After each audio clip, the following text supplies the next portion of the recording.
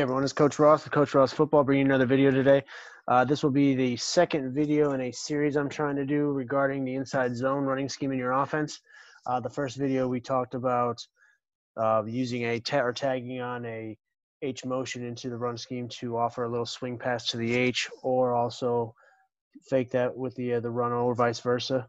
Uh, so if you haven't seen that video, go ahead and check it out. But before we get into the video, uh, do me a favor and hit that like button if you like this content. Also, subscribe if you want to see this content or any other future content that I'm going to put out. So, getting back into this video, again, we're going to be talking in this one about different uh, defensive fronts you might find uh, playing up against and uh, how the blocking schemes could be set up to help you be more successful in the run game. Now, we see uh, multiple fronts within our um, within our season, and so we try and go through and try and simulate all those uh, all those defensive fronts that we might see in practice. Um, and we have simple little rules that we keep it uh, for the uh, for our offensive linemen. Uh, it's a basic lineman rule that we follow is uh, inside, head up, or outside. So in other words, what that means is most important. Obviously, you got to guard your inside inside gap first. You got no one inside of you, then you're worried about your your uh, defender head up with you, and then lastly the outside. So it's obviously inside is most important. So to start off with here, we're going to talk about the inside zone against a 4-4 defense. That we, and this is one of the defense that we see a lot of throughout the season. We see a 4-4, four down linemen and four linebackers. So I'm showing you the inside zone right here out of our two by two set. And um, what we do, this is an inside zone to the left. What we like to do is again, just going to go through the rules here. Uh, we'll start with the play side tackle. If he has nobody in his play side B gap, okay, then he's looking at head up. And then if he's got no one head up, then he is looking to his outside shoulder.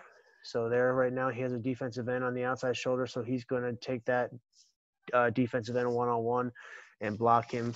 And typically we'll, we tell, tell him to carry him out to the backfield and out of the play.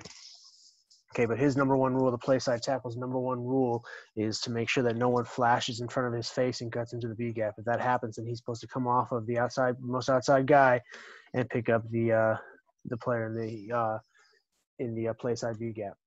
Going down the line here, our play side guard. Again, same rule. If there's no one play side A gap, okay, then you're worried about head up.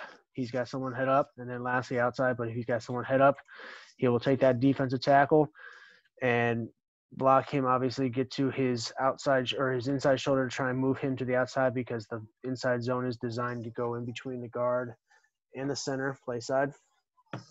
Now with the center, um, again, play side A gap is his number one concern too as well. If not, then head up and then outside, which would be backside um, A gap.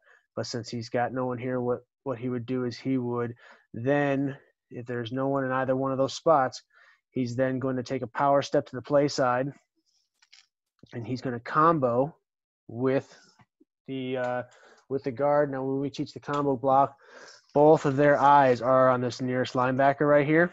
Okay, and whatever way that linebacker breaks towards the ball, they will disengage from their double team block here, and they will go and engage the linebacker. But they are both told on this double team to push this double team into the into the linebacker so that it's an easier block to make whichever one whether the guard or center has to disengage off their block with the lineman to then take engage the linebacker on our backside same rules apply again inside which would be this right guard or this this uh, backside guards uh, if there's anybody lined up in the A gap, he is to take that person. Then it's head up, then it's outside. And uh, right here, he's got one head up, so then he's going to take that. And again, we'll dis- we'll uh, continue with a combo block with our backside tackle. Now, our backside tackle has a specific rule on um, on our inside zone play.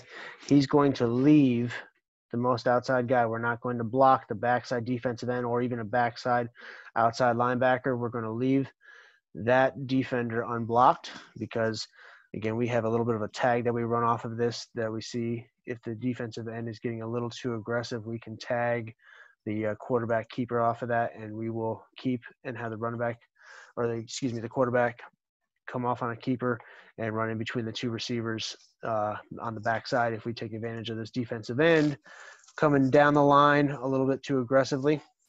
Okay, so we will keep an eye on that. We don't teach the quarterback to read the defensive end, but we do have a tag if we see that that, that defensive end is being a little bit aggressive on the line. We can take advantage of his aggressiveness. Aggressiveness. So again, the tackle, the backside tackle, if he has no one flashing in front of him, he's going to combo with the backside guard. And they're, again, just like the other two, are going to combo, take that combo block all the way to second level with their eyes on the nearest linebacker.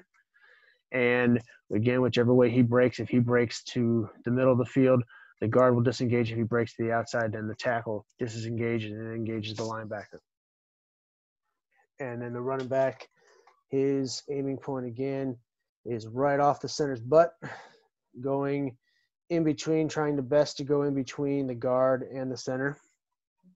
But again, we teach a uh, the bang, the bounce, and the bend. If he's he's going to bang it first here, if not, he's going to bounce it, and then if not, he can bend it. So he's always keeping trying to read the blocks right here and get upfield. All right, here is a blocking scheme setup that we do and when we see against a 3-5-3 uh, we saw a little bit of this defense quite a bit last year where they would line up three down linemen. Sometimes they would drop in linebackers and make it actually a five uh, man front or six man front by bringing two linebackers. But after we started hitting some screens, some vertical passes, these linebackers eventually just sit back and we would just see three coming. So on these, again, same rules apply.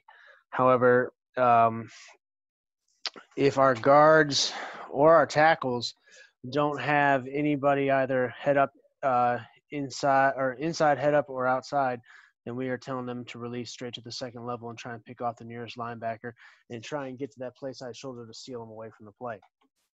So, for example, in this diagram right here, again, play side tackle would have the defensive end Again, not letting him flash in front of his face to the B gap, the uh, the play side B gap. Now guard doesn't have anybody inside, head up, or outside technically.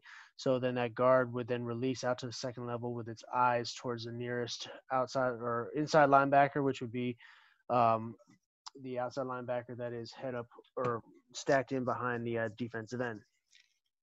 Now in this case, our center is going to have somebody head up.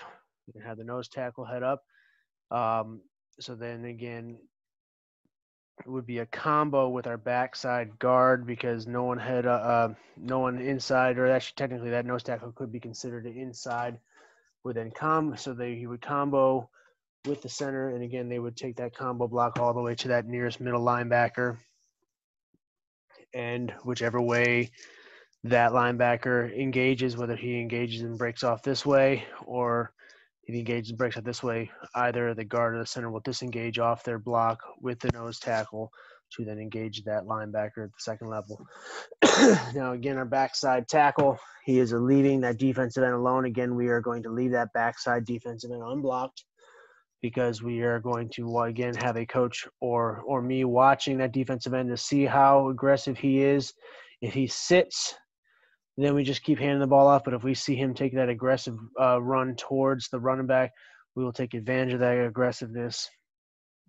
And later on in a, in a play call, we will tag on the uh, the star keep to it or the quarterback keeper that we call it, uh, and take advantage of that aggressiveness. And then again, once we hit that play for a couple times, you will see this defensive end then be a little bit more conservative and not have to rush down the line to try and be aggressive with the running back because now he realizes that he's got burnt on either the run or the quarterback, so he's going to be a little bit more careful and not get burnt to the outside and get faked out.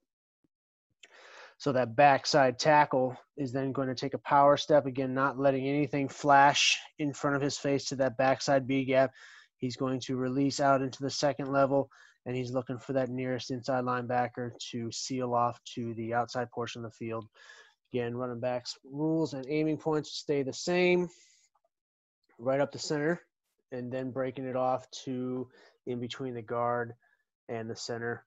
And again, he can either bang it down, he can uh, bounce it to the outside if he needs to, or he can bend it back towards uh, an opening in the uh, in the backside of the line.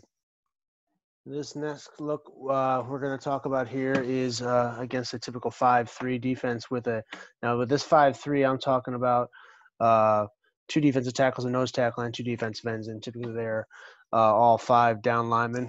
Uh, sometimes you might see a defensive end standing up, but a lot of times uh, these these five men have their their hands in the dirt. Um, all blocking rules stay the same. Now, again, with the inside zone, we're trying to get to double team uh, blocks as quickly as possible. But with the rules that we play, again, inside, head up, or outside, on a 5 3 alignment like this, the only real double team that's going to take place would be between the uh, backside, which would be the backside guard, and the backside tackle again. Backside tackle's rule still stays the same. He's going to leave that defensive end uh, unblocked. He's going to double team with the backside guard, and they're going to carry that double team all the way up to the second level. Now, on a 5 3 like this, we should take out uh, and remove two linebackers outside of the uh, outside of the box because they're going to be busy covering up on the uh, on our two slot receivers and our two by two set.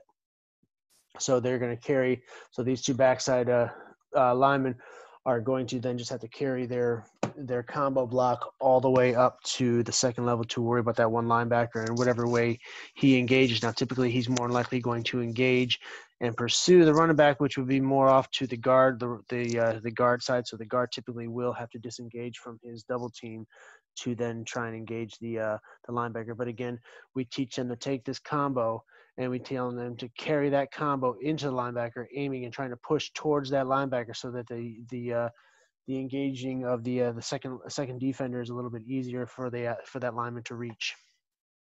But everybody else is one on one with their blocks, and running back is reading their blocks, and he's either banging it first, he's bouncing it, or he wants to bend it. Now, uh, an easy bend would be to bend back. Um, back around by in, in between the uh, the backside guard and center too as well. And again, we are looking to see and always watching that backside defensive end to see how aggressive he is and if we can take advantage of his aggressiveness. All right, this is a cut up to show you the inside zone out of our two by two set here. This is a good example of what we teach our linemen to do as far as getting downfield uh, if they have nobody inside, head up, or outside of them. And the center does a great job of adjusting and getting downfield, looking for someone to block, and he does get in the way of a defender, and the running back is able to get a big gain out of it. So we'll play it out, and then I'll show you what I'm talking about in slow motion.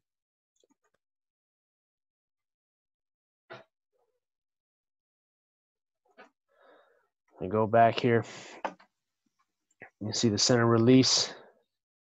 He releases out, and he's looking, he's aiming for this linebacker who had seemed to drop back, and that's the nearest linebacker that he's looking for.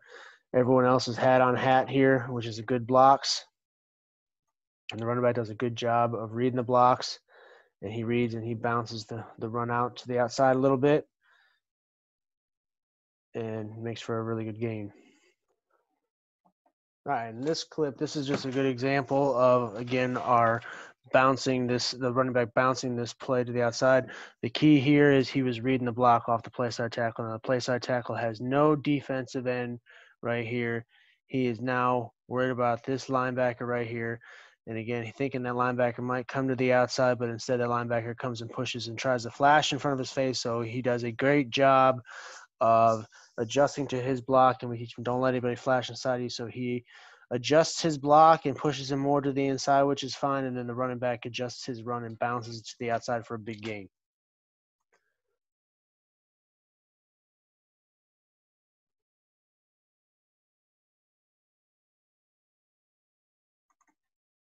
Again, I'll bring it back here just to show you. This linebacker right here is where he's he's keying on right here. And that linebacker tries and gets cut up inside and you can see the running back now is trying to bounce the run to the outside. And from there, it's just a big gain. It's a great athleticism. And This is going to conclude this video. This is, again, this is the second video in a series I'm going to be doing talking about the inside zone. The first one, again, was uh, tagging on the H motion into a little bit of a swing pass and, and uh, pairing that in with the inside zone as well. And you can use it. It's a nice little tag to add into your offense. This is talking about the blocking schemes against different multiple fronts. Um, give this video a like if you liked what you saw. Also, don't forget to subscribe if you want to see more of my content that will be coming out here in the near future. Also, in the comments below, talk about uh, do you use the inside zone or you know do you block it any differently? I'd love to hear from you. I'd love to hear if there's any different ideas as to how to block it and uh, what to teach. But you know, this is what how we teach our alignment. I hope you enjoyed the video and uh, look forward to seeing you in the next one.